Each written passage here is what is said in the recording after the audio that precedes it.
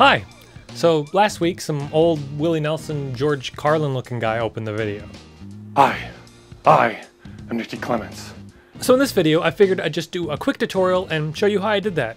Now, I'm sure most of you have guessed that I used the recently repopularized FaceApp, but any of you that have signed your life away to it will know that uh, FaceApp doesn't do videos. Which raises the question, how do you process a video in an image-only manipulation app? If your answer is you simply convert your video to an image and then process each frame one by one, yeah, you're correct. That's how you do it. And uh, Ren over at Corridor Digital had the exact same idea.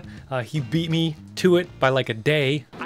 I really want to see a video with this. And I think the way to do that is basically just take the video, render it out as an image sequence, import all those images into your phone. Then you have to manually go through and do it. What am I about to see? I'm an old man. That actually looks pretty good. I bet oh, you within one year we'll see FaceApp for video. If you aren't watching Corridor, I highly suggest you go check them out. They make amazing visual effects based short films and videos. And they have a really fun vlog type channel where they show a lot of the making of their videos and just get up to a lot of other fun stuff. Anyway, yes, it is an extremely tedious process, but as you saw, it does work. And it will not only work for just FaceApp, but it'll work for pretty much any image-only manipulation app. But let's just get right into it. So first you're going to record your video, and the shorter the better, obviously. I'm actually just going to pull up an older video. Um, I'm going to go back to actually a previous tutorial, um, the beard regrow tutorial.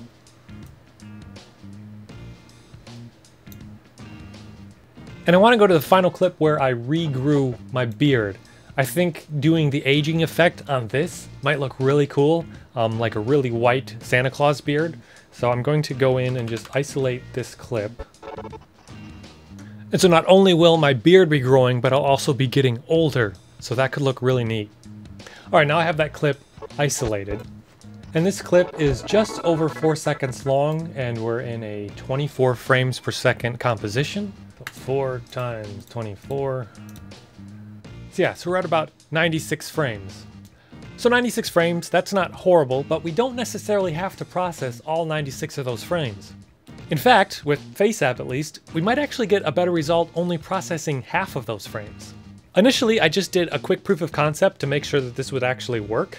Hi, I am Nick D. Clements. And I was actually pretty pleased with the final result. Of course, it is a bit choppy because it is only playing at 12 frames per second. Therefore, when it came time to do the full intro, I figured I'd just bite the bullet and do it at the full 24 frames per second, processing over 140 frames through FaceApp. And I used to make stuff like this. And yeah, while the motion of the shot was buttery smooth, and the face FaceApp result was actually really consistent overall, the beard kind of had a really distracting flickering going on. And at first I was just gonna leave it, I mean the result is what it is, but then I looked at my test again and it really didn't have that same flickering issue.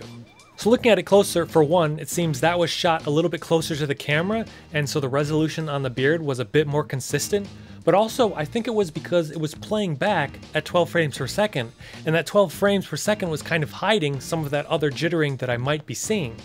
Now just to stop for a quick second, it's interesting to me how your FaceApp result can be affected by things like the framing of the shot, the lighting, even the background. For instance, the first test I did with the app, my picture looked like this. But then when I uploaded photos from my DSLR, the result was quite a bit different. Now if you do have any interest in how this app is actually doing what it's doing, I highly suggest you go over and check out that Corridor Crew video, where they delve into the app and theorize on what technologies they're probably using to pull that all off.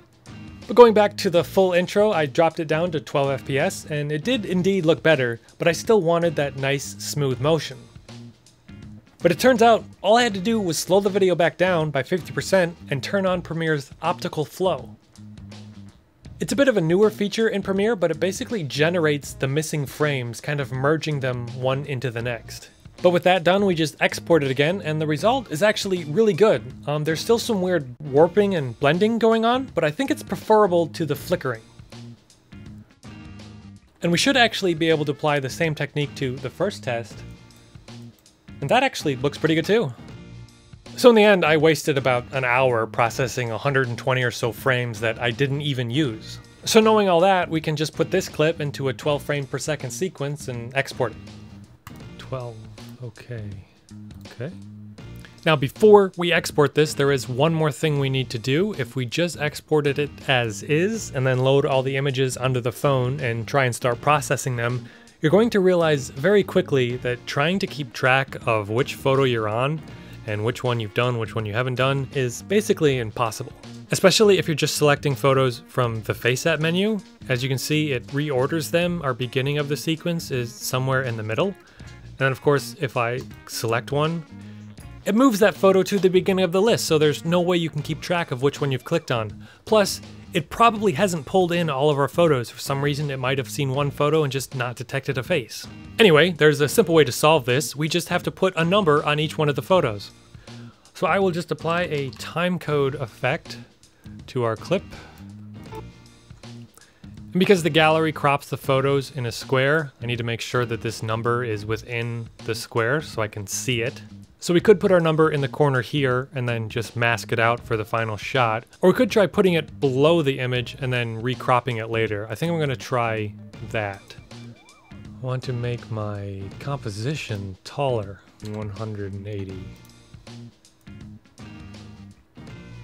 And there we go, now we have a number on all of our frames, so that should make it way easier to keep track of which frame we're on in the app.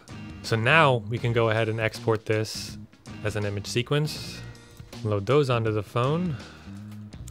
And there we go. Now we can see all of our numbers very easily and clearly. And again, you can see how weird the numbering system is in FaceApp. So we got 35 to 25, then 26. So there's no way that you could blindly keep track of which frame you're on or which one you need to do.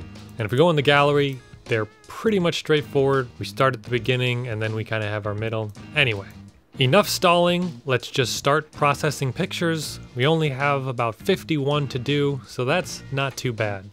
But uh, first I want to just actually take one of the ones with the beard and see what kind of results uh, we're to get. So I want to do age. And oh, we have, uh, there's new aging things. There's cool old. Let's just look what like the old old looked like. There we go. That's a pretty cool result. What's the cool old? Oh, it just so just that's that's kind of cool, as the name implies. I think I'll. What do you think? Old old or cool old? I think I like the cool old. A bit whiter, a bit nicer. We'll go with that. That should look pretty neat. Alright, so let's start with frame zero. And age cool old. Alright, that's kind of a funky result, but we will be fading into this result, so that's what we got. So hit apply, and then we'll save that. It's fine. You're stealing all my fixtures. Whatever. Two. No, frame one, starting at zero. back. Alright, so I'm going to do this 50 more times, and then uh, I'll be back.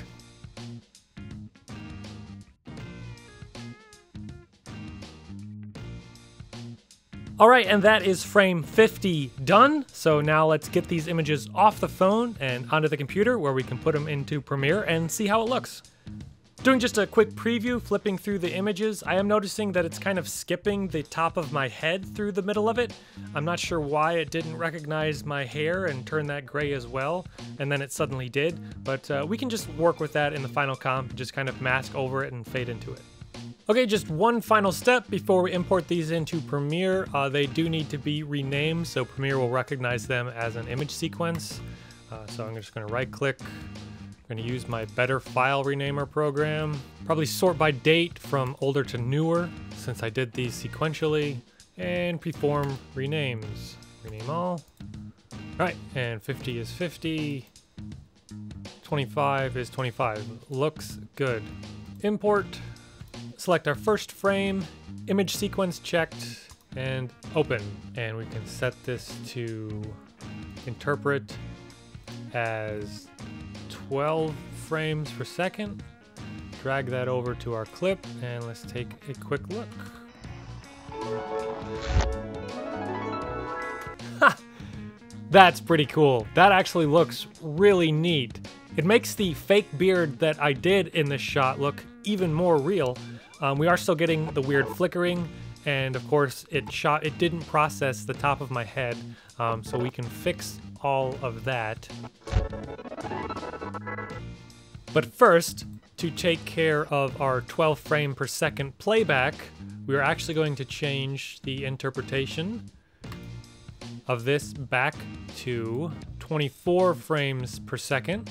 And then we are going to change the speed, slow that down by 50%.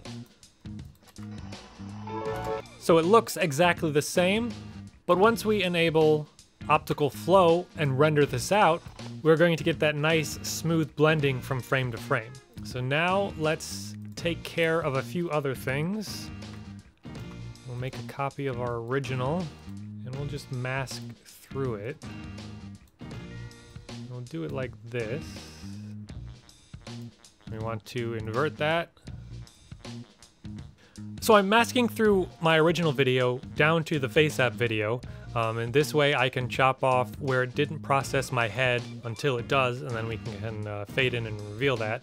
Um, and also, it's just gonna help us get rid of the FaceApp um, watermark, which with uh, all of the controversy surrounding their app, I uh, do not have any issues removing that watermark. And I think it, I think you get it removed if you pay for Pro anyway. Um, so whatever. Um, so we'll just set this mask here. And I'll just make one more copy. Actually, we'll just kind of fade it along the whole time up near the end. We'll put a mask path keyframe there. Now let's check that out.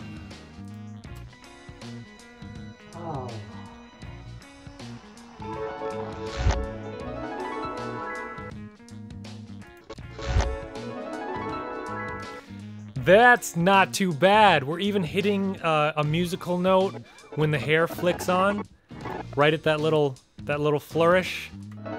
Lines up perfectly when the hair finishes up. So that that works out. That's just a nice little accent.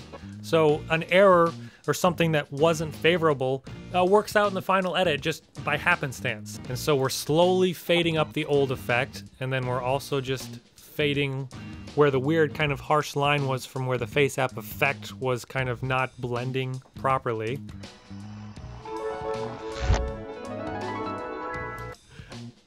That's really cool.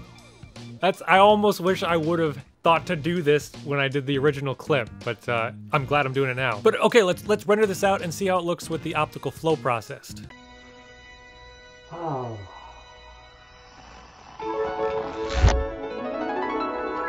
I like it. I do like it.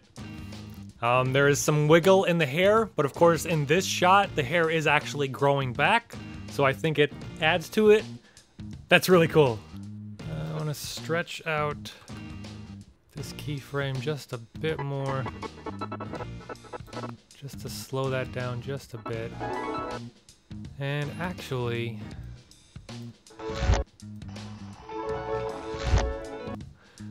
And yeah, and where the, the sound effect, even from the original video of that little sound, it didn't quite line up. Um, and I didn't, I just, I lined it up to what the video did instead of what kind of looked right.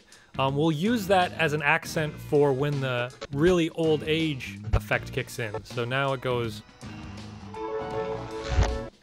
And so now we're kind of accentuating the old age effect with that thump sound. So at least it has a bit more of a purpose.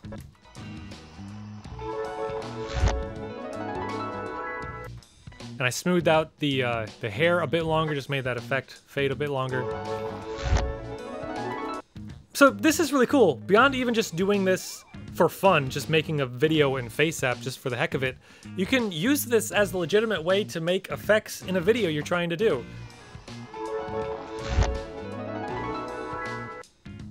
Very cool.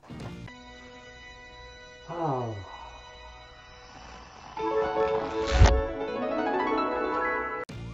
And that's really all there is to it. It's really simple to do, but it can be time consuming and pretty tedious. And as I said, this should work with any image-only manipulation software, so not just FaceApp. So I want to do just a quick example showing how you do this in an app like Prisma. So first, I just need a clip that I want to apply a filter to. I think I'll try this one of Lisa and her previous bird, Viper. And I'll just get that clip loaded into Premiere and then isolate the section I want. And again, I'm going to save myself some time and reduce it down to 12 frames per second. I'll apply a counter to this one as well, and then we can get those frames exported and loaded into the app.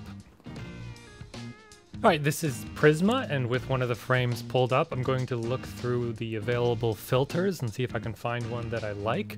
Unfortunately, most of the really cool filters are behind a paywall, but there should be one or two cool free ones available.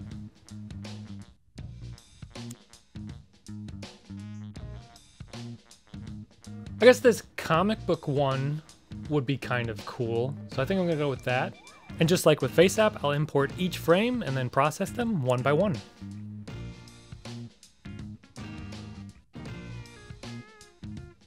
And with all of those frames processed, we get them downloaded off the phone, renamed, imported into Premiere, and following the exact same steps that we did for FaceApp, we have our filtered clip.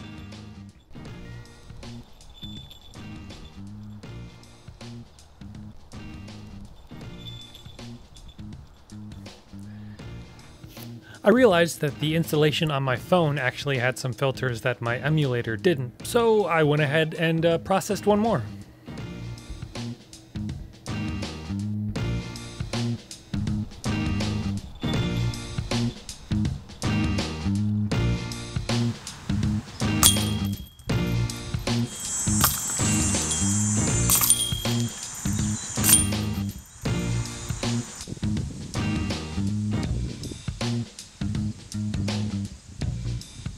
But that'll do it for this one. I hope you found it useful or interesting. At the very least, I hope you see that you're really limited only by your imagination. A image-only app can do video if you think outside the box and have some time and patience.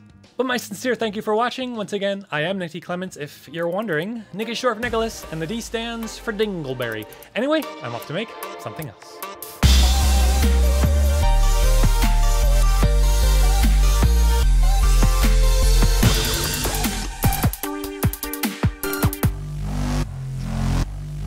Good enough, good enough, enough, enough, enough, enough, enough, enough, enough, enough, enough, enough, enough, no. Stop watching me. No, please don't, please don't.